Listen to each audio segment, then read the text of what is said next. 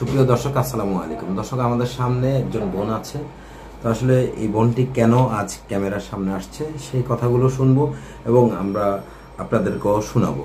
তো চলুন আমরা কথা বলি এই বোনটির সাথে। আপু আসসালামু আলাইকুম। কেমন আছেন?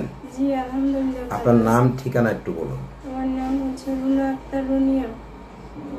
বাড়ি শরীয়তপুর। আচ্ছা। তো আসলে এই যে ক্যামেরার সামনে আসার মূল কারণটা কি? হচ্ছে আমার একটু সমস্যা আছে কারণে আচ্ছা তো আপনার যে সমস্যাটা আছে সেই সমস্যাগুলোর কথা একটু বলুন আমাদের দর্শকের উদ্দেশ্যে।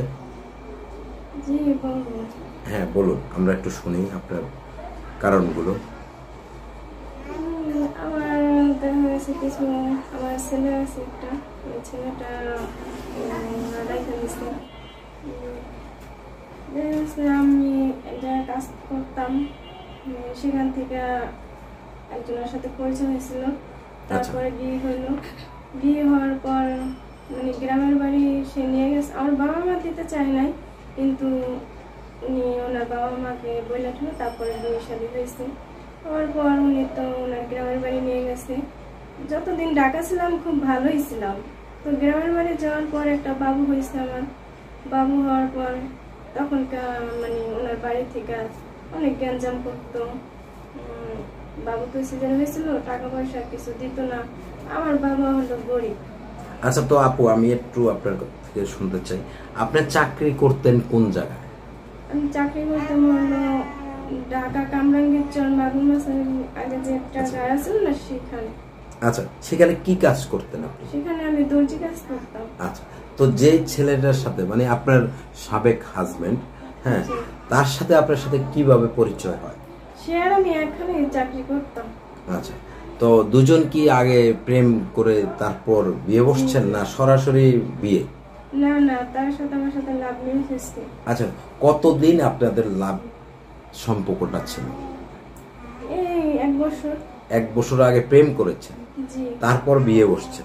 আচ্ছা তো এই যে এক বছর আপনি তার সাথে প্রেম করলেন তারপর বিয়ে বসলেন তো আসলে তার সাথে তো অবশ্যই ঘোরাফেরা হয়েছে তাই না? জি না তার সাথে এভাবে কোনোখানে আমি ঘুরতে যাইনি। আচ্ছা আচ্ছা কোথাও ঘোরা হয়নি? না তাহলে তার সাথে কীভাবে কথা হতো কীভাবে? ফোনে ফোনে কথা হইতো ফোনে কথা হতো? জি। আচ্ছা তো এই যে ফোনে ফোনে কথা হতো তা যেহেতু একই অফিসে একসাথেই কাজ করতেন তাই না? আচ্ছা তো একসাথে কাজ করার মাঝে তার গ্রামের বাড়ি সে কেমন মানুষ? সবকিছু কি ভালো করে যাচাই করেছেন? না আমার বাবা মা যাইতে চাচ্ছিল বাবা তারপরে তারা বলছে যাওয়ার জন্য কিন্তু আমার বাবা যায় না কারণ ওখানে তো আমার দিব না তারা। এই কারণে যায় না কিন্তু আমার বাবা বিয়ের সময় আমার ছিল না।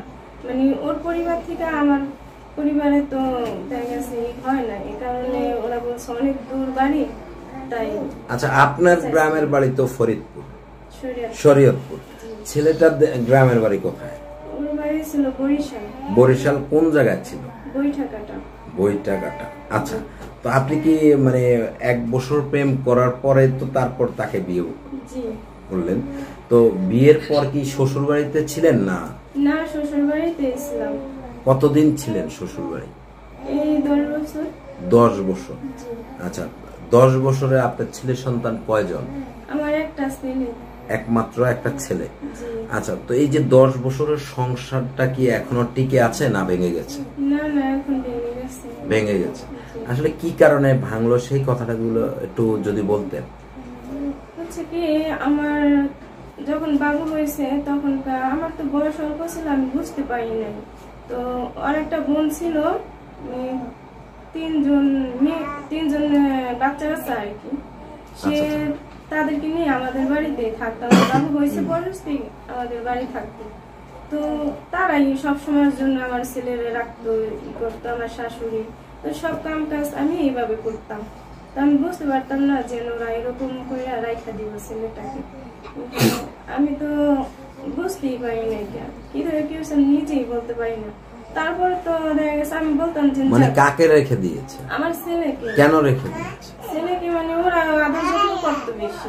আচ্ছা। আর আমার কাছে দিত না যখন ক্ষুধা লাগতো তখন তার মানে কি আপনি কি মা হিসেবে একজন মায়ের যতটুকু ভূমিকা থাকে সন্তানের প্রতি আপনার কি ততটুকু ছিল না আমার ছিল কিন্তু ওরা আমার কাছে দেয় নাই আমার ছেলেকে। রাতে ঘুমাসতে চাইলো ওরা নিয়ে তারপরে মানে শাশুড়ি নিয়ে ঘুমাসতো আমার ছেলেকে। কিন্তু আমার কাছে দিত না। যখন ক্ষুধা লাগতো তখন তো আমার বলান দিতে যে এদিকে আসো ওরা খাওয়াই যাও। দেখা আচ্ছা। গেছে খাওয়াই ওখানে কেন ঘুম পড়তাম। আপনার সন্তান আমরা তো যতটুকু জানি যে একটা যে বাবুটা মায়ের বুকের দুধ খায় হ্যাঁ সে তো মায়ের কাছেই থাকবে তাই না? হ্যাঁ। তো যতটুকু জানি যে একটি বাবু যখন মায়ের বুকে দুধ খায় মায়ের কাছে থাকে যেটা আমরা জানি তা আসলে আপনার বেলায় কি ঘটেছে? ঘটেছে মানে আমার শাশুড়ি যে উনি বাবুটারে রাইখা দিত ওনার কাছে আর আমার কাছে বাবুটারে দিত না। হুম। আর যখন ওর ক্ষুধা লাগতো আমার কাছে আচ্ছা এটা বাবুর বয়স কতদিন? বাবুর বয়স যখন দেড় মাস হয়েছে তখন আমার বাড়ি থেকে এই বাড়িতে যখন শ্বশুর বাড়িতে আসছি তখন থেকে মানে আমার শাশুড়ি রাইখা দিত। আচ্ছা আচ্ছা। তো আমি তো বুঝতে পারতাম না যে এত কিছু ওরা করবে। তো রাখার পর আমি বলতাম যাই হোক রাখুন রাইখা হেরা ই করুক আমি বাড়ির যত কাজ আছে আমি করি। আচ্ছা। কিন্তু রাখছে রাখুক সমস্যা ছিল না আমার। কিন্তু পরে বুঝতে পারলাম মানে কি পরে কীভাবে বুঝলেন কি হলো সেটা বলুন। যখন আমার বাবুর সাড়ে তিন বছর হয়েছে তখন মানে আমার হাজবেন্ড উনি আমার বাড়ি থেকে আমার বাবুরে পলায়া নিয়ে আসছে আর কি। মানে আপনাদের বাড়ি থেকে?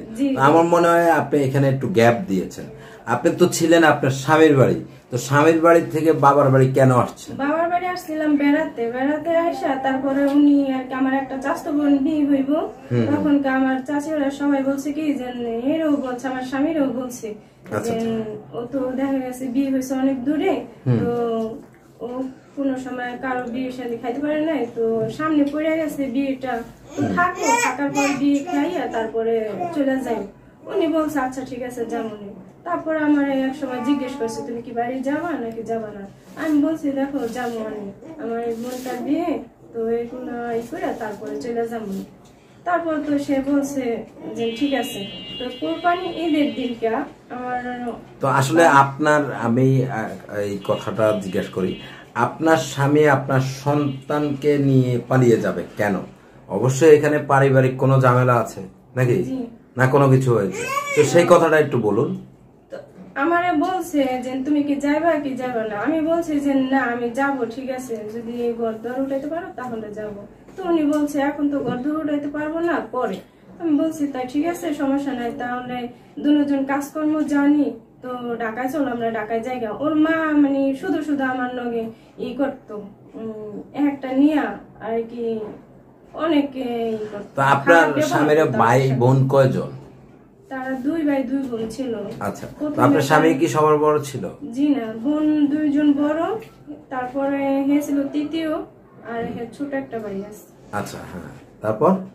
তারপরে তো ই করছে ওই পালাইয়ে নিয়ে আসছে নিয়ে আসার পরে তারপরে আচ্ছা তো আসলে আপনার সাথে কথা ছিল আপনি আহ, মানে যদি আপনার স্বামী ঘর তুলে দেয় তাহলে আপনি যাবেন ঘর না তুললে আপনি আপনার বাবার বাড়ি থাকবেন। কথা হচ্ছে এটা। তো আসলে একটা স্বামী যখন তার স্ত্রীকে নিতে চায় তখন অবশ্যই স্বামী স্ত্রীর মাঝে তো ভালোবাসার মাঝে তো হয় এই কথাটা। যে আসলে তুমি একটা ঘর তোলো না হলে দুজনে মিলে একটু কাজ কাম করি। কিন্তু সেখানে বাবুটাকে নিয়ে পালিয়ে যাওয়ার তো ঘটনাটা আমি বুঝতেছি না। যদি একটু ভালো করে বুঝায় বলতে। ওই যে আমি বলছি যে আমি তো বাড়িতে যাব না তাই দুজনে কাজকর্ম জানি তো দুজনে একসাথে কাজকর্ম করি। তারপরে দুই চার পাঁচ বছর থাকি কিছু টাকা হলে তারপরে না হয় বাড়িতে যা ঘর দর উঠে থাকব। আচ্ছা কিন্তু উনি সেটা করে নাই এ কারণে সে আমার বাবুটা নিয়ে পালিয়ে গেছে। আচ্ছা তো পালিয়ে যাওয়ার পরে কি ঘটলো? পালিয়ে যাওয়ার পর সে আমাকে অনেকবার বলছে যে তুমি চলে আসো। আমি বলছি যে না আমি যাব না। কিন্তু আমার একটা মামা শ্বশুর ছিল উনি বলছে যে তুমি তোমার বাবাকে নিয়ে আসো। আমি কি না আমি কিসের জন্য বাবাকে নিয়ে আসব? আমি বাবাকে নিয়ে আমি যাব না। কারণ আমার বাবা মা যেখানে আমার দিতে চায় না সেখানে আমি গেছি। তারপর আজকে জীবনে এরকম কিছু একটা হইবে আমি কল্পনা করতে পারি নাই কিন্তু আমি যাব না। ও যদি ছেলে নিয়ে যদি আসে আসুক আর যদি না আসে তাহলে কোন আমার সমস্যা নাই। কারণ যে পারছে ছেলেকে নিয়ে পালাইয়া যাওয়ার জন্য কিন্তু আপনি তো একজন মা। জি। আপনি আপনার সন্তানকে দেখতে যান নাই আপনার সন্তানের কাছে কি আপনার যাওয়ার কি উচিত ছিল না? উচিত ছিল কিন্তু আমার সন্তান তো আমার কথা বলতো না তখন ওদের কথাই বলতো। যে না। ওরা জিজ্ঞেস করলে বলতো যে না আমার মার কাছে আমি যাব না। আচ্ছা তো আপনি তো যেতে পারতেন। আমি যাইতাম আমি যাব না ওই যে শাশুড়ি করে। তার মানে আপনারও সন্তানের প্রতি ভালোবাসা কমই ছিল? কম ছিল না বেশি ছিল। কিন্তু ওই যে নিয়ে নিয়ে রাখতো তখনকার তো আমার খুব খারাপ লাগতো। সন্তানের প্রতি যে না আজকে আমি এই বয়সে একটা ছেলে হয়েছে। কিন্তু আমি সব সময়ের জন্য নামাজ পড়ে দোয়া করতাম যে না আল্লাহ প্রথম জানি আমার একটা ছেলে সন্তান দেয়। কিন্তু আল্লাহ তাই দিয়েছে আমাকে। দেওয়ার পরও যে না আমার জীবনটা এরকম হইল। আচ্ছা পরবর্তীতে কি ঘটলো? এখনও কি স্বামীর বাদনে আছেন না? জি না। এখন কি মানে ডিফোজ হয়ে গেছে? ডিভোর্স হয়েছে বলতে হয়েছে ও তো বলছে যে কাগজ দিছে কিন্তু কাগজ আমার কাছে এখনও পৌঁছায় নাই। তা আসলে আপনি কি চাচ্ছেন? আমি কি চাইব আমি এখন কিছু চাই না। মানে কি তার সংসার করতে চান না নতুন করে আবার জীবনটা আবার সাজাতে চান? জীবনটা সাজাতে চাই। মানে- মানে নতুন করে আবার কি বিয়ে বসতে চাচ্ছেন?